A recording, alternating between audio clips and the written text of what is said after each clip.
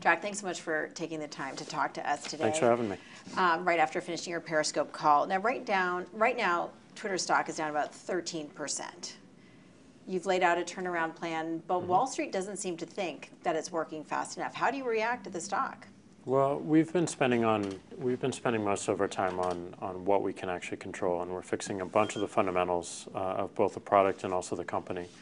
Uh, we put a structure in place recently that uh, really merges product engineering and design, so we can increase our shipping cadence, and we can really deliver on the five priorities we laid out in the last earnings call. Uh, we're focused on live as an umbrella of what we think Twitter does best, but to serve that well, we have to make the product a whole lot simpler. We have to make it a whole lot more accessible.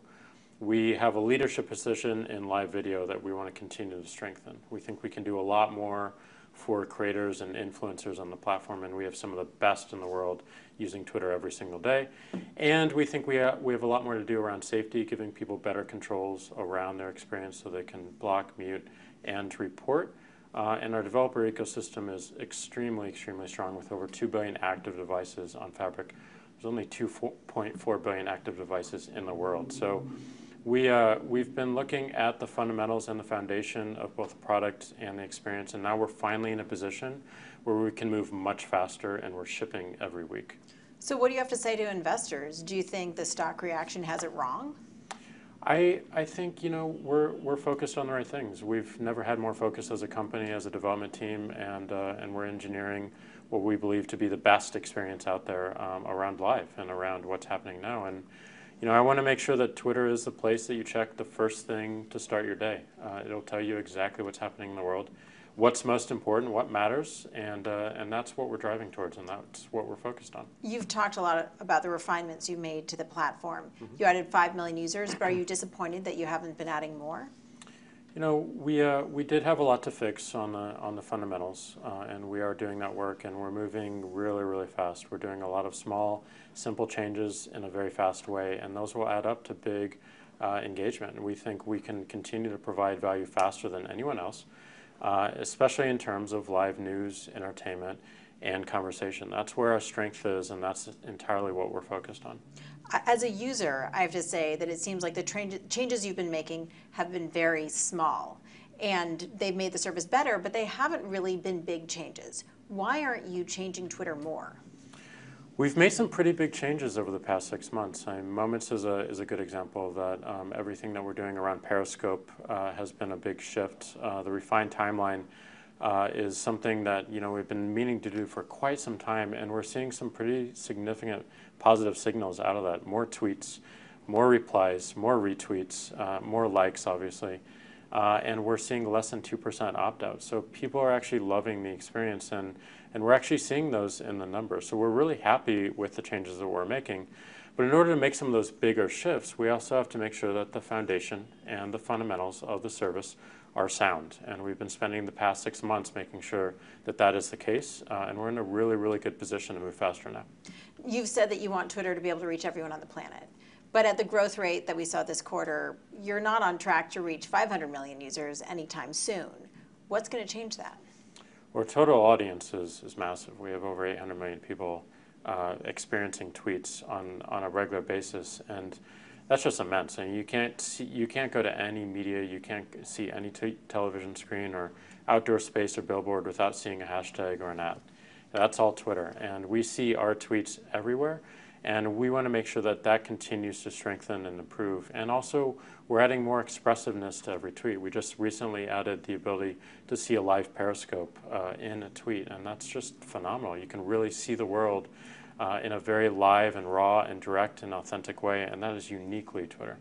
You've been at Twitter now, returning to Twitter now as CEO for the past nine months. What are the changes that you're seeing that that show that Twitter is a better, stronger company now than it was nine years, nine months ago? We're focused on more collaboration. We're focused on shipping faster. We're focused on ship, shipping better experience, and we're really focused on some of the things that we've we know are confusing people, and that are inhibiting a lot of usage. Uh, Twitter is phenomenal at providing a sense of a shared experience, and you know we think the best way to get Twitter and to understand the power of Twitter uh, is really through a live event. Uh, and we're making investments here. The NFL deal is one such example where we have people tweeting about games all the time. And the simple question is, what if the game was actually on the same screen as the tweets? And it's not just about football, it's not just about sports.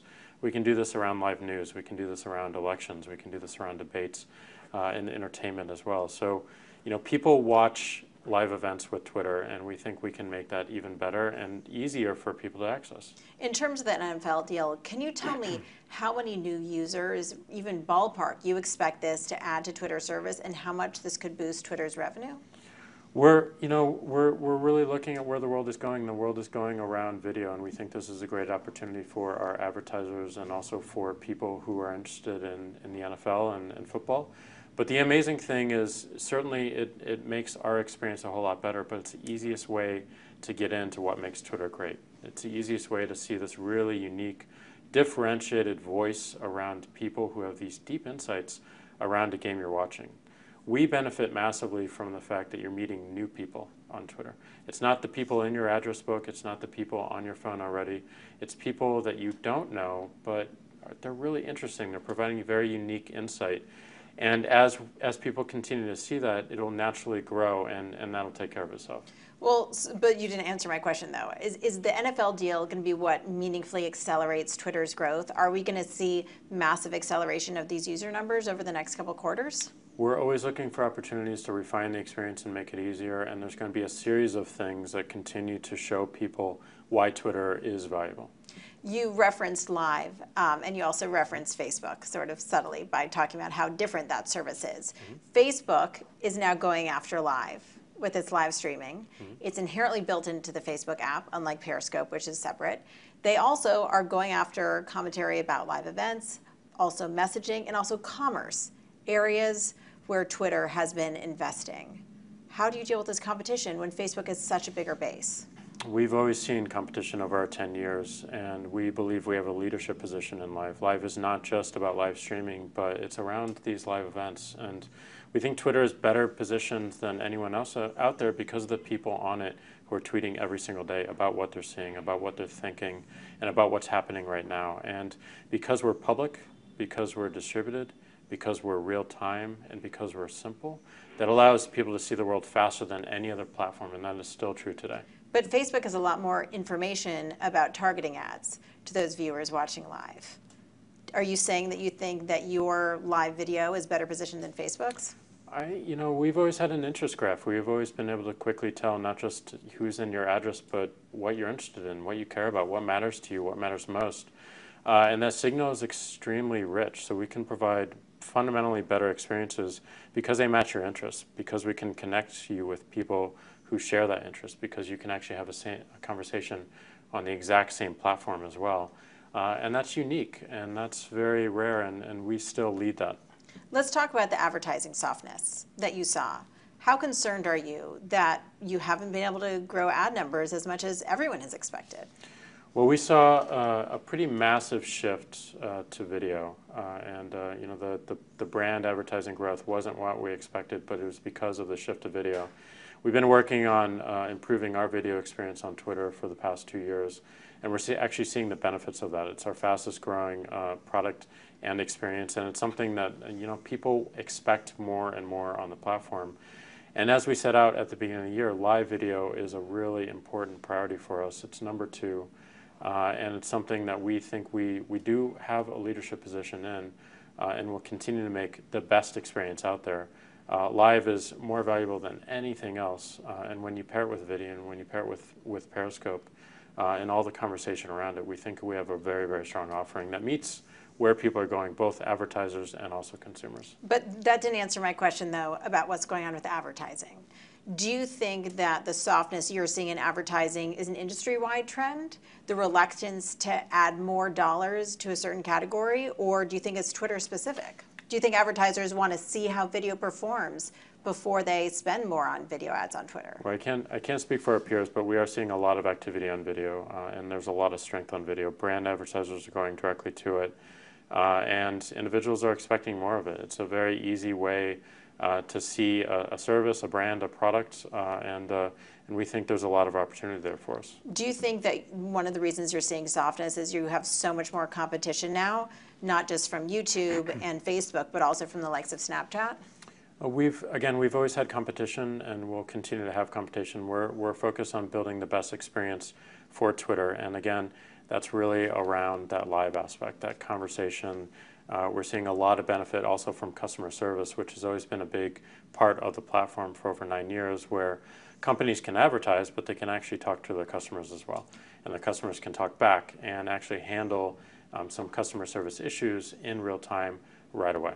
This is an area that Twitter's been focused on for a long time. It's mm-hmm. also a new area of focus for Facebook with mm-hmm. Messenger. Mm-hmm. Uh, what do you make of Facebook jumping into these areas where you've been for a while? Well, again, we, we've been doing this for, uh, for a while, and we think we, we have uh, first a, a, brand recognition that this is a place to get really human-focused customer service and a human touch around that. We've had some of the biggest brands in the world take to it, and, and not just from a pure customer service standpoint, but looking as a channel uh, to sell more as well. Um, so to improve the experience that a customer has around their brand, uh, and to allow to enable the customer to actually give a rating on how the brand is doing and, and what they want to see more of uh, using in industry standard techniques. On the earnings call just now, Anthony Noto spoke about interest in M&A. what can we expect in terms of M&A for Twitter moving forward? We've benefited massively from M&A in the past, uh, and the company's been phenomenal at recognizing talent before the world really gets a chance to see it. So two examples of this are Vine and Periscope.